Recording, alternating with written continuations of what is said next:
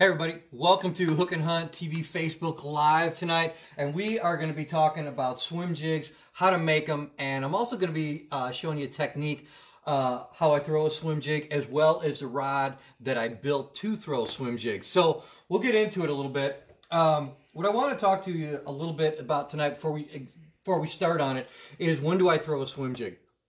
Well, first and foremost, I like to for grass to be around. Doesn't have to be, um, but I like throwing a swim jig around a lot of grass. I also like throwing them on a calm day. Comparative was real windy, maybe I'd be throwing a spinner bait or something like that. But when it's calm, sometimes things are a little bit tougher. Or I'm fishing water where there's a lot of grass, whether it be thick grass and I can fish the edges, or especially scattered grass, lily pads, things like that. That doesn't mean you can't throw them around laydowns um, and beaver piles and things like that. I like doing that as well. But grass has always been my favorite uh, place to throw them. So let's actually look at the anatomy of a swim jig, how we're going to, and Moxie's joining us. Hey, Moxie, good to see you. Why don't you lay down there? That's a good girl. Yeah, she's so good.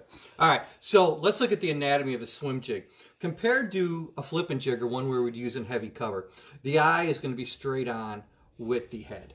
Okay, the weed guard is going to be a little bit thinner all right? And you're still going to have a big hook if you want one and this one's got a hook keeper.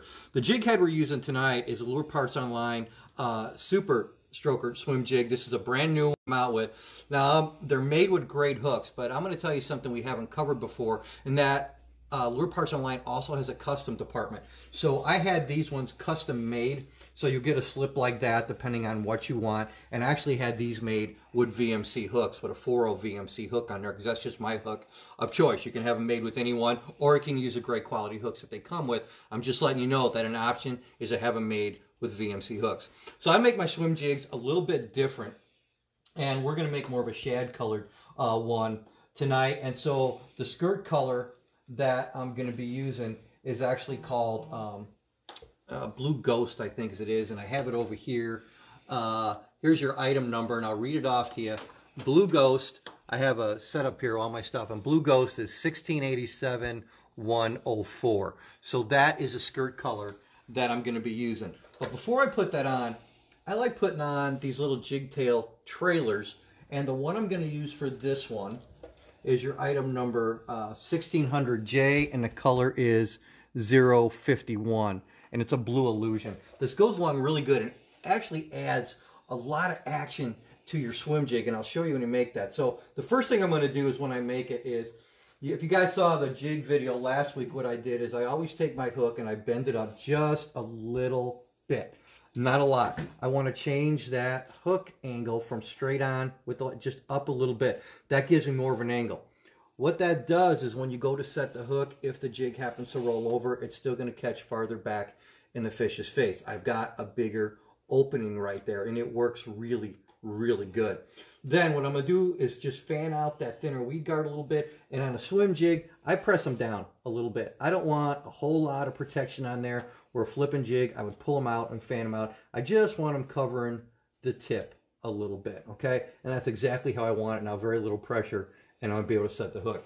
So, okay, so the first thing I'm to do is I'm to wet around the collar here, just like that, and I'm going to take these swim tail trailers and I'm going to push it up over the hook, just like so, and then I'll push it up over the collar. Boom, just like that. That's what I want. I like with the tails going up. You can do it any way you want it. Um, I think at slower when your tails are up, just like I fish a grub the same way with the tail up. At slower speeds, you're still going to get a lot of action with that tail being up, okay? Now, I'll make sure that's wet again, and then we're going to slide the, uh, we're going to slide the skirt over it. I like putting the scale part of the skirt up, just like so.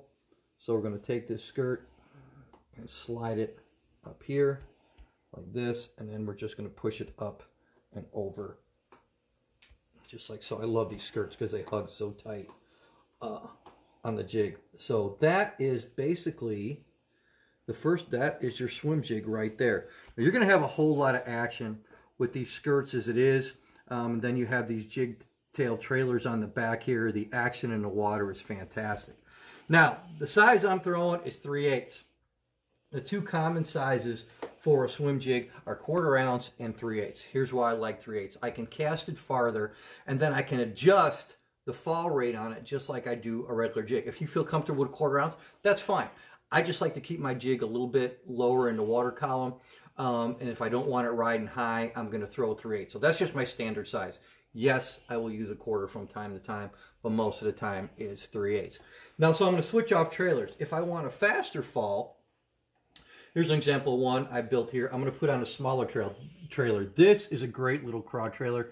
Uh, this is a Scheels Finesse Craw and uh, I've got this, and I always match the trailers with the skirt. That's got a lot of great little kicking action back there. When I want the jig to fall fast and I'm moving the bait pretty fast, I'm going to throw that.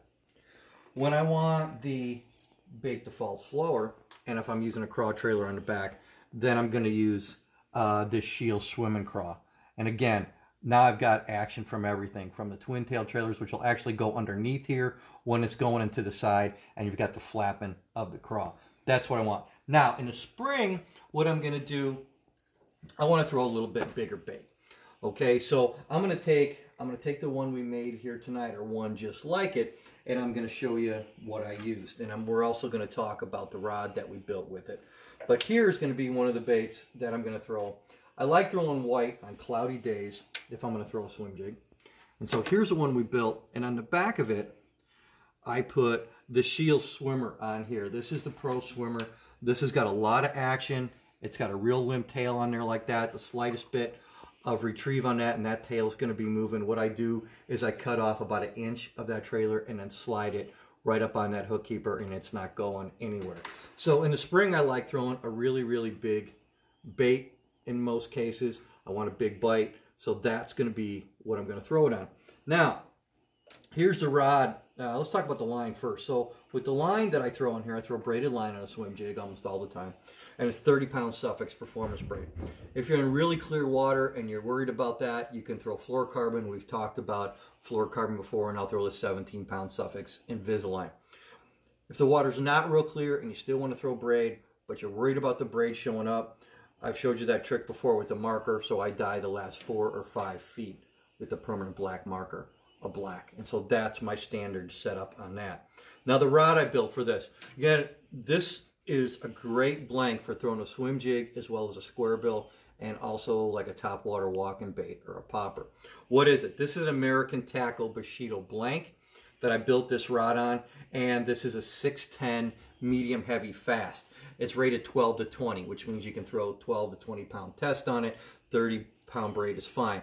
I like a limber tip on this with a lot of backbone. Why? Because I can be extremely accurate throwing that jig in there. With the braided line, it's got no stretch. So the fast tip along with the good backbone and the braided line, it makes a perfect setup uh, for this. I finished it off uh, with good grips right here. And of course, I have the microwave guide system on it. This is a great rod for this. I threw I threw a rod like this last year. I just built this one a couple months ago, and you're going to see it when we throw a swim jig on the show uh, this year. I've got a 6 3 to 1 uh, American Tackle reel on here, loaded up again with that 30 pound Sufix Performance Braid. But that is what I throw. That is my swim bait uh, rod reel setup. Now when I'm throwing a swim jig, obviously you're going to cast it out and you're going to reel it back in, but there's something else that I like to do as well. Most of the time I'm just not reeling the bait in.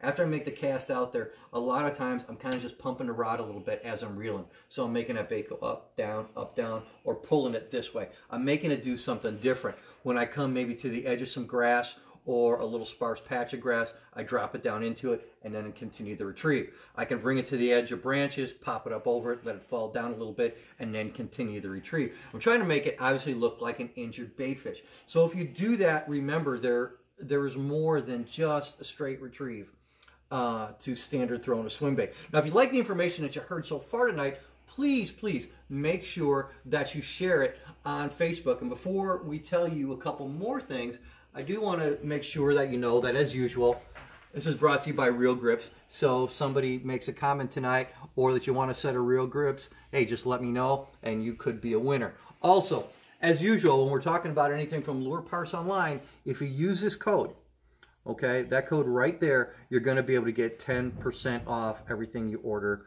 from Lure Parts Online. That's your rod components, that's everything, that's all your tackle. So make sure you use that. I'm going to go just show you real quickly um, a couple colors that I use. I don't get really, really hung up um, on a bunch of colors. Some of these are my flipping jigs. Here's the colors that I use the most. I use a black and blue a lot. Um, and if the and on cloudy days, then I'll use some form of a, of a white. Um, it's usually either a violet or that blue that we're making tonight. It's going to be one of those. I don't get real complicated uh, in my swim jig colors. Occasionally, if it's real clear water, I may throw a green pumpkin with the green pumpkin trailer. Just make something that's really subtle. I don't want to make a lot of flash, a lot of vibration. I just want them to be able to see it in really clear water. Then I'll drop down to a green pumpkin. But the two colors you saw tonight, um, black and blue, and uh, the other one that we call the Blue Ghost. I like that one a lot. Um, and if you haven't tried those little tails on the back of a swim jig before, do it. The action that it adds to the bait is absolutely incredible. Um, it'll give you a lot more, like I said, it'll give you a lot more action with the slightest retrieve. Make sure you put those tails up like that, and you will. You'll have some incredible action on it. The trailers, again, as we talked about, there's not a whole lot that I vary, either craws or swim bait. Occasionally, occasionally if I've got really stained water and I still want to throw one around grass, I may throw a twin tail grub on the back of it. But that's about it.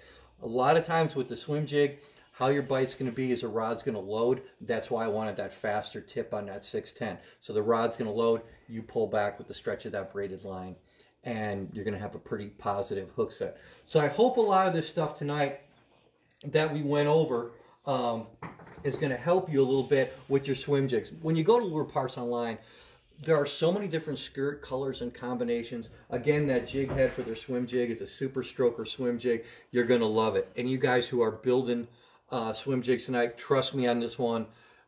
It's absolutely fantastic head. Extremely well built. Great hook. And like I said, if you want to do custom stuff, say you have something that you really like. You, you have a hook that you really like or you have a color combo that you really like tell Lure Parts Online what it is, and you can custom stuff. Set, like we said in the last uh, episode, we were talking about jigs. The cool part about making stuff yourself is chances are you're going to make something that nobody else has. It's going to add to your confidence. And overall, the best tool you have for catching fish isn't even in your tackle box. It's up here. It's confidence. And if you can build baits for a fraction of the cost that you can buy them in a store, and then be able to throw something out there that you have a lot of confidence in, you're going to end up catching more fish on it. I'm going to show you this code one more time, and that's Hook and Hunt 10. You go to Lure Parts Online, you put that in after your order, and you will get 10% off. So I hope tonight that helped you, and I hope you got a little bit insight into swim jigs and not only how to fish them, but also on some different color combinations. It's fun to build your own stuff. It's it's a blast. And on top of it, when you start catching some really big fish on it, just catching fish at all on stuff you built, there's nothing better than that. Till next time. Hope you enjoyed it. We'll see you soon.